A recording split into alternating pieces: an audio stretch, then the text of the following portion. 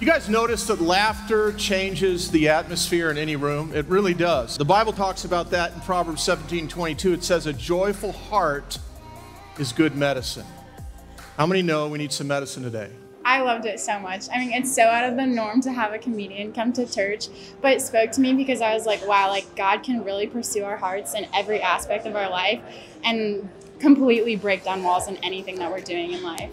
When we laugh, the atmosphere changes, the walls come down, we connect at a deeper level. And that's why, as a church, we love to laugh. In fact, one of our core values is to be fun loving.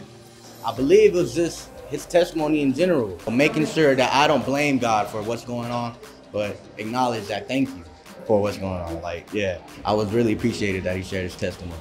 So, every one of us has experienced pain. We will experience pain. What have you learned from pain in your life? Satan wants you in pain. God wants you free. Yes. So he'll do everything he can to keep those lies going in your head. But you were beautifully and wonderfully made. I knew you when you were woven in your mother's womb. I know the plans I had for you to prosper you and not to harm you, give you a hope and a future. God's word will counter those. Come Use on. God's word to counter those lies. It's okay to not be okay today, but it's not okay to stay that way. In light of what Jesus did to set us free, amen?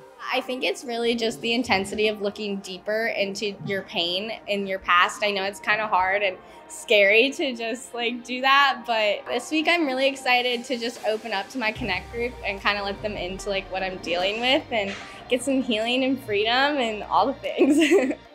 This was actually my first time here ever. I just moved here um, and I got invited to come. My biggest number one goal was to find people centered around the Lord that will help me grow and motivate me and push me in the right direction. Um, and I feel like I got that here just from meeting people today. So I had a really good time, good experience, and I'd love to come back.